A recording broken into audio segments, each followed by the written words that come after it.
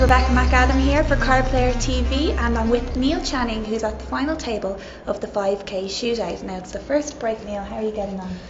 They're bashing me up, Rebecca. I was, uh, I don't know, I sort of thought I'd kind of take it a bit quiet in the middle stages of this first couple of hours, and uh, I sort of had a plan that the first 20 minutes I'd play quite busy and get busy. Uh, because I think people are very nervous and they tend to let the first couple of laps of the table go round.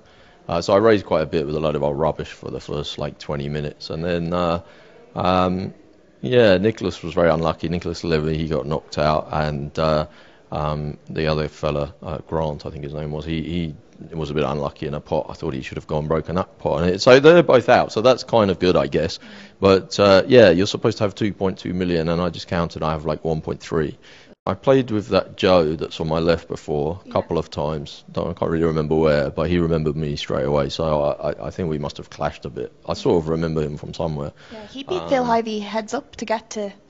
Oh, right, okay. Yeah. That's nice to know, isn't it? Yeah, lovely. Okay. well, he's he's okay. He plays all right, and I I've seen a couple of quite good players on the rail, and I think they're railing him. So I think they're his backers, and uh, if they're his backers, he's probably quite good. I, I wish I was Praz Bansi right now. I think I, I, uh, when we, I was watching him when there was uh, when he was in the final, and it was seventh out of eight, and I, I kind of thought.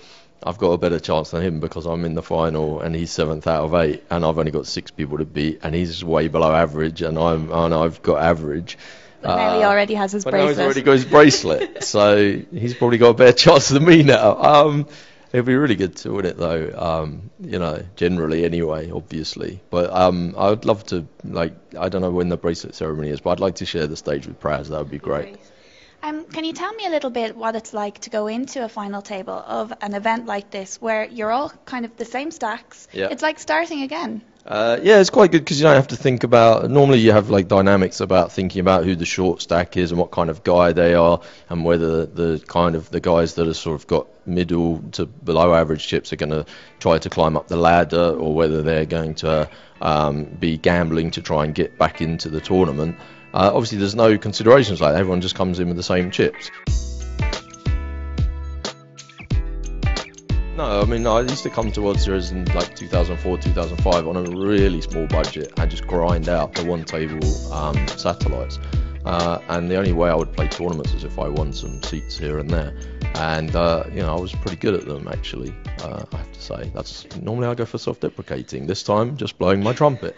Um, but uh, yeah, so I've played hundreds of them. And I, I used to play quite a lot of online sit and goes, um, maybe five years ago. So I, you know, I think I'm, I may not have kept up with advances in sit and go strategy, and I think there there have been a lot. And I don't sit and watch videos about sit and goes. I can't think of anything worse. But um, I I think I'm push uh, push bot and all that stuff, and re raise re raise, you know, two card chicken. I can do that with the young guys. You're you old school.